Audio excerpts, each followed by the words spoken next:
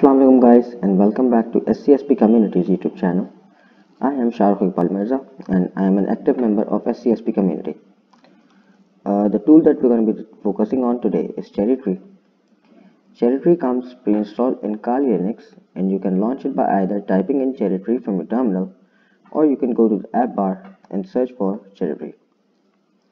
Okay, so Cherry Tree is a note-taking tool that comes in handy when you're doing a pen test and you have to document your findings in the form of notes for future reference when you have to make a professional pen test report for your client.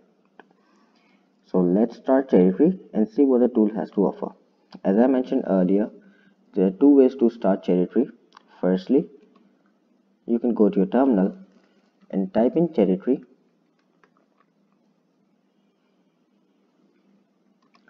and alternatively you can go to the app menu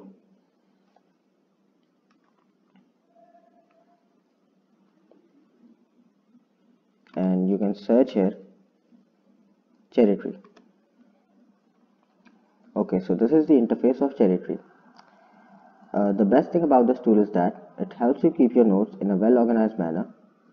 You can create your notes in a tree like structure and also allows that you may paste in screenshots.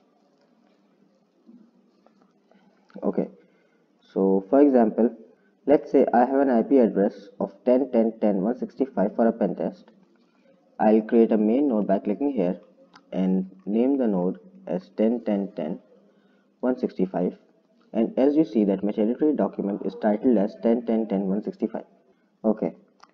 So next I have to put in my nmap scan results for my nodes. So I'll click here to create a child node and I'll name it nmap scan results.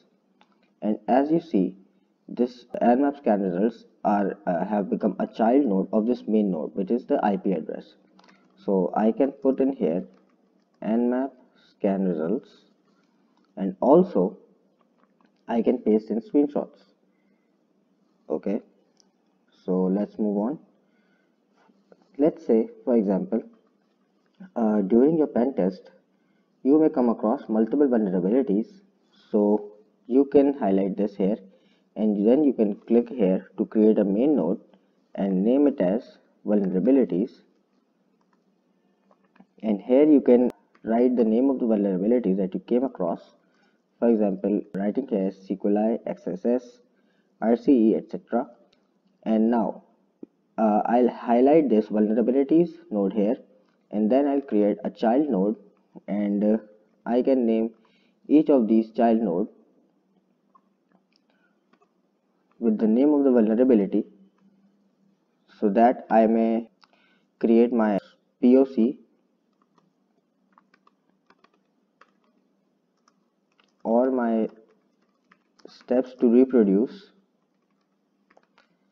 in a hierarchical manner. As I said, Tree also offers functionality to paste in screenshots. So let's say that this is the screen that I have to uh, take the screenshot of and paste it in my Cherry document. I'll press the print screen button.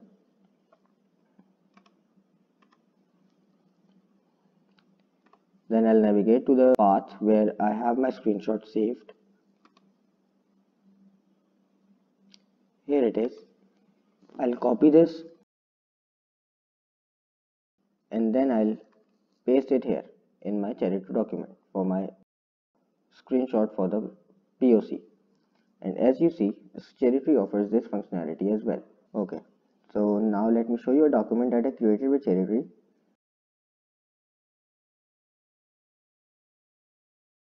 These are my notes from Wakanda a VulnHub machine. As you see here that all my notes are organized and there is nothing haphazard about it if I have to go and look up a particular exploitation technique, I have to reference a particular section of my notes. I can click any of the section, for example, my nmap scan results, my port 80 results, how I got the user shell, here I have those as well. And as you see, I can easily refer back to my notes without spending much time. So that's it for today folks. I hope you enjoyed this video. We'll be back with a next with a new tool next time. Thank you for watching and take care.